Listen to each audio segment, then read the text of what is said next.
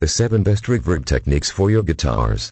Reverb, or reverberation, is one of the key architects of space and feeling in any audio project. A lack of reverb will make your audio sound unnatural, and too much can blur and wash out your entire mix. Find the right balance, and you can generate expansive soundscapes and intimate, defined spaces with your guitars. 1. Move your guitars to the front or back. 2. Move your guitar reverb to the sides. 3. Add reverb without losing clarity.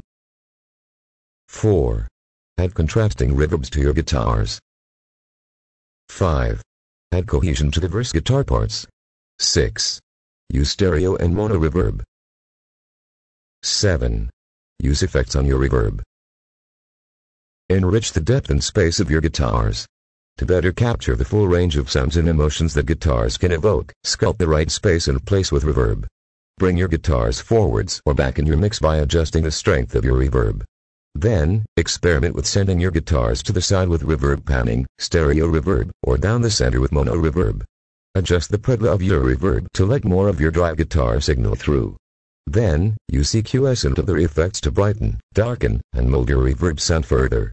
Do so, and the impact and feel of your guitars will improve significantly.